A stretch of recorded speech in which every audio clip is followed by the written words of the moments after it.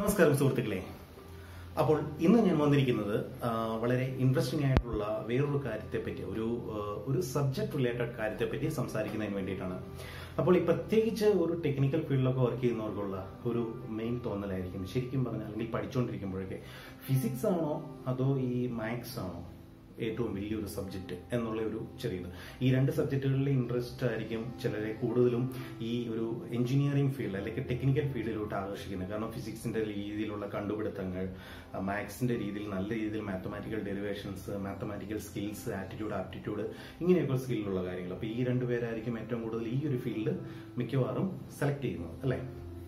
Okay അപ്പോൾ ഇതിൽ ഏതാണ് വലിയ സബ്ജക്റ്റ് എന്നുള്ള ഒരു ചെറിയൊരു കാര്യങ്ങൾ പലരുടെയും മനസ്സിലുണ്ടാവും. അപ്പം ഞാൻ ഇതിനെപ്പറ്റി ഒരു ക്വൈറ്റ് ഇൻട്രസ്റ്റിംഗ് ആയിട്ടുള്ള ഒന്ന് രണ്ട് കാര്യങ്ങൾ ഞാൻ പറയുന്നുള്ളട്ടെ ആദ്യം മുതൽ ഞാൻ ഒരു കാര്യം പറയട്ടെ. ഈ ചിലത് ചിലതിനോട് കൂടുമ്പോൾ മാത്രമാണ് കംപ്ലീറ്റ് ആവുന്നത്. അതായത് ഒന്ന് മറ്റൊന്നിനോട് കൂടുമ്പോഴാണ് കംപ്ലീറ്റ് ആവുന്നത് എന്നുള്ളൊരു തത്വം തത്വമുണ്ടല്ലോ. അതുപോലെ തന്നെയാണ് ഫിസിക്സും മാത്സും അപ്പം ഇൻഡിവിജ്വാലിറ്റി ഉണ്ട് എന്നുണ്ടെങ്കിൽ ഈ രണ്ട് സബ്ജക്റ്റുകളും ഒരിക്കലും കംപ്ലീറ്റഡ് അല്ല എന്ന് പറയാം.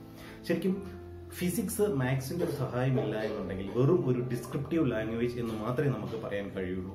കാരണം ഫിസിക്സിന്റെ മൊത്തം കാര്യങ്ങളും നമുക്ക് മനസ്സിലാക്കി തരുന്നത് അത് മാത്സിന്റെ ഡെറിവേഷൻ അല്ല മാത്സിന്റെ ഇക്വേഷൻ ഡിറൈവ് ചെയ്ത് ഡിറൈവ് ചെയ്ത് വന്നാണ് നമുക്ക് ഒരു ഫൈനൽ റിസൾട്ടന്റ് നമുക്ക് കിട്ടുന്നത് അല്ലെ?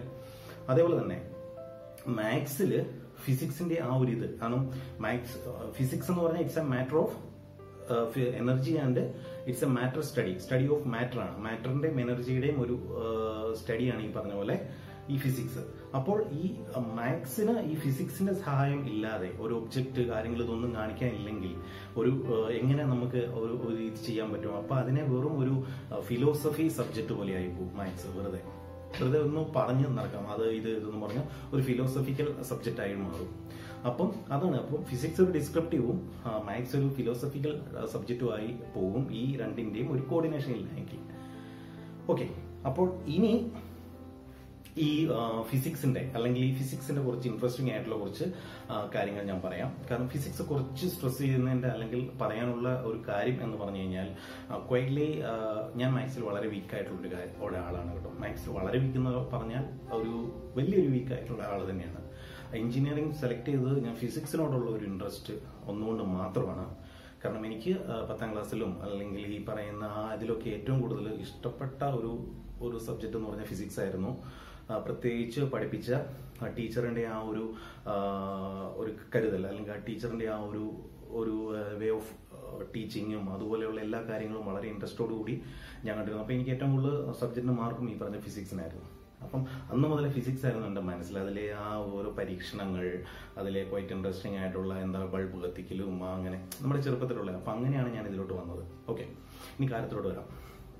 അപ്പൊ ഫിസിക്സ് ഞാൻ പറഞ്ഞ പോലെ ഇതൊരു മാറ്റർ ആണെങ്കിൽ ഇതൊരു എനർജി ഇപ്പം മാറ്ററിനെയും എനർജിയെയും പറ്റിയുള്ള ഒരു പഠനം. അപ്പൊ ഈ matter alone or energy alone അല്ലെങ്കിൽ in combination of matter and energy ഇതാണ് ഫിസിക്സ് ഓക്കെ അപ്പൊ ഫിസിക്സിലെ പല ലോസ് പല ഈ കാര്യങ്ങൾ അതായത് ഒരുപാട് ലോയും കാര്യങ്ങളും ഒക്കെ ഉണ്ട്. ഈക്വൽ ടു എം സി സൂര്യ ഫിസിക്കൽ ടു എം എ അത് ന്യൂട്ടൺ ഐൻസ്റ്റീൻ ഇങ്ങനെയുള്ള ഒരുപാട് ശാസ്ത്രജ്ഞന്മാരുടെ ഒരു ഗ്രൂപ്പ് ഓഫ് കുറെ ഇൻവെൻഷനും കുറെ കാര്യങ്ങളും കുറെ ലോയും കാര്യങ്ങളും പഠിക്കുന്ന ഈ ഒരു സബ്ജക്ട് എഞ്ചിനീയറിംഗും ആയിട്ട് ഭയങ്കരമായിട്ടുള്ള ഒരു ഇമ്പോർട്ടൻസ് ഉണ്ടായിരുന്നു. അതിനുള്ള ഒരു ചെറിയൊരു എക്സാമ്പിൾ ഞാൻ പറഞ്ഞുതരാം.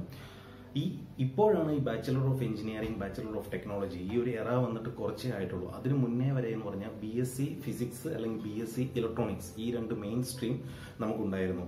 അപ്പോൾ ഈ പ്ലാന്റ് പണ്ടുണ്ടായിരുന്ന ഈ വലിയ വലിയ പ്ലാന്റുകളും കാര്യങ്ങളും ഒക്കെ ഓടിച്ചുകൊണ്ടിരുന്നത് ഒന്നെങ്കിൽ ബി എസ് സി ഇലക്ട്രോണിക്സ് അല്ലെങ്കിൽ ബി എസ് സി ഫിസിക്സ് കാരണം അവർ എഞ്ചിനീയറിനേക്കാളും നിങ്ങൾക്ക് പഴയ എഞ്ചിനീയറിംഗ് ടെസ്റ്റ് എടുത്താൽ നോക്കിയാൽ അറിയാം. ശരിക്കും ആ ടെസ്റ്റ് ഒക്കെ എഴുതിയൊരു ഒന്നെങ്കിൽ ഒരു ഫിസിക്സ് മെയിൻ സ്ട്രീം എടുത്തവരോ അല്ലെങ്കിൽ ഈ പറഞ്ഞ പോലെ ബി എസ് സി ഇലക്ട്രോണിക്സുകാരോ ഒക്കെ ആയിരിക്കും. കാരണം എന്ന് പറഞ്ഞാൽ അതാണ് എഞ്ചിനീയറിംഗ് ആക്ച്വലി പിന്നെ അതിനുശേഷം സബ് ഡിവൈഡഡ് ആയി ബിടെക്കും ബി വന്നപ്പം ഇലക്ട്രോണിക്സിനെ ഡിവൈഡ് ചെയ്തു. ഇലക്ട്രിക്കലിനെ ഡിവൈഡ് ചെയ്തു. മെയിൻ സ്ട്രീം ഇലക്ട്രിക്കലാണ് ഇലക്ട്രിക്കലിന് പിന്നെ ഇലക്ട്രോണിക്സ് വന്നു. ഇലക്ട്രോണിക്സ് പിന്നെ ഇൻസ്ട്രുമെന്റേഷൻ വന്നു. അതിൽ നിന്ന് പിന്നെ കമ്മ്യൂണിക്കേഷൻ വന്നു. പിന്നെ ടെലികമ്മ്യൂണിക്കേഷൻ വന്നു. ഇങ്ങനെ സബ്ബായി സബ്ബാക്കി സബ്ബാക്കി കുറച്ചുകൊണ്ട് വന്നു. പക്ഷെ പണ്ടത്തെ ആ ഒരു ഫിസിക് ആ ഒരു ഡെപ്ത് ഈ ഫിസിക്സിന്റെയും അല്ലെങ്കിൽ ഇലക്ട്രോണിക്സിന്റെയും ഒക്കെ ഡെപ്ത് പിന്നീട് കുറഞ്ഞു കുറഞ്ഞ് പല ഡിസിപ്ലിൻ ആക്കിയപ്പോൾ സ്പ്ലിറ്റ് ആക്കി എന്നുള്ളതാണ് സത്യം.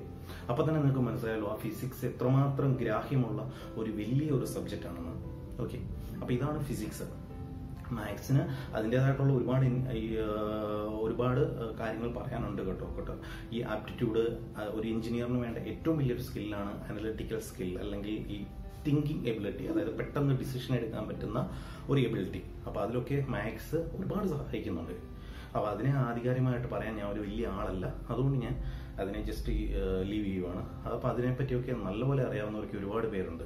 അപ്പോൾ അതുകൊണ്ട് ഞാൻ വിടുകയാണ്. പിന്നെ ഫിസിക്സിനെ പറ്റി ഞാൻ പറയാൻ കാണുമ്പോൾ ഞങ്ങളുടെ കമ്പനിയുടെ ആ പേരും ഫിസിക്സും തമ്മിൽ നല്ലൊരു സംതിങ് റിലേഷൻ ഉണ്ട്. പലരും എന്നോട് ചോദിച്ചൊരു കാര്യമാണ് എന്താണ് എൻഫിൻഡ് എന്നുള്ള ഒരു പേര് പറയാൻ ഇച്ചിരി ബുദ്ധിമുട്ടാണ് എന്താണ് ഇൻഫിന്റ് എൻഫിൻ ഞാൻ പലപ്പോഴും ഞാൻ എനിക്ക് തോന്നുന്നു പറഞ്ഞിട്ടുണ്ടെന്ന് തോന്നുന്നു. എഞ്ചിനീയറിംഗ് ഫിസിക്സ് മൈൻഡ് എന്നുള്ളതിന്റെ ഒരു ഷോർട്ട് ഫോം ആണ് എൻഫിന്റ് അതായത് E N related to engineering P H Y related to physics I N D related to mind okay അപ്പം ഞാൻ പറഞ്ഞ പോലെ തന്നെ ഞങ്ങളുടെ ഗ്രൂപ്പിലുള്ളവർക്ക് എഞ്ചിനീയറിംഗിന്റെ ആ ഒരു ഫിസിക്സ് റിലേറ്റഡ് കാര്യങ്ങൾ ഭയങ്കര ഇൻട്രസ്റ്റ് ആയതുകൊണ്ടും ഇറ്റ്സ് റിലേറ്റഡ് ഓഫ് ഈ കമ്പനി ഇറ്റ്സ് റിലേറ്റഡ് ഓഫ് എനർജിയാണ് അപ്പം equal to M C square എന്നുള്ള ആ ഫിസിക്സിന്റെ വലിയൊരു ഐൻസ്റ്റിന്റെ അല്ലെങ്കിൽ ആ ഒരു ഇക്വേഷൻ അപ്പം അതെല്ലാം റിലേറ്റ് ചെയ്തോട്ട് നോക്കുമ്പം എൻഫിൻഡ് എന്നുള്ള ഒരു നല്ലൊരു പേരായിട്ട് നമുക്ക് തോന്നിയോണ്ട് ആ ഒരു പേര് നമുക്ക് അതിലോട്ട് ഇട്ടു എന്നുള്ളതാണ്. ഓക്കെ അപ്പോൾ ഫിസിക്സ് എന്ന് പറഞ്ഞാൽ നിങ്ങൾ ഇടയ്ക്കിടയ്ക്ക് ഒന്ന് നോക്കുക. വളരെ ഇൻട്രസ്റ്റിംഗ് ആയിട്ടുള്ള ഒരുപാട് കാര്യങ്ങൾ ഈ ഫിസിക്സിൽ അല്ലെങ്കിൽ മാത്സിൽ ഇത് തമ്മിലുള്ള കോമ്പിനേഷനിലൊക്കെ നമുക്ക് അറിയാനും ഇതുമെല്ലാം ഉണ്ട്. ഓക്കെ നിങ്ങൾ ഇടയ്ക്കിടയ്ക്ക് ഓരോ കാര്യങ്ങളും നെറ്റിലാണെങ്കിലും ഗൂഗിളിലാണെങ്കിലും ഒരുപാട് ചാനൽസ് ഉണ്ട്. അപ്പം അതിലൊക്കെ ഒന്ന് നോക്കുക.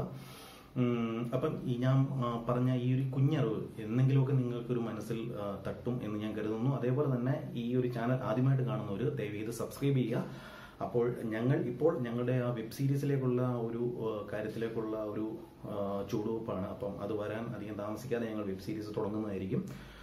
എഞ്ചിനീയറിംഗിന്റെ ഒരുപാട് നല്ല ഫാക്ട്സുകൾ ഓക്കെ അപ്പോൾ ഇതുവരെ സപ്പോർട്ട് ചെയ്ത എല്ലാവർക്കും നന്ദി നമസ്കാരം. തീർച്ചയായിട്ടും ഇനിയും സപ്പോർട്ട് ചെയ്യുക സബ്സ്ക്രൈബ് ചെയ്യുക കമന്റ് ചെയ്യുക ലൈക്ക് ചെയ്യുക. Signing off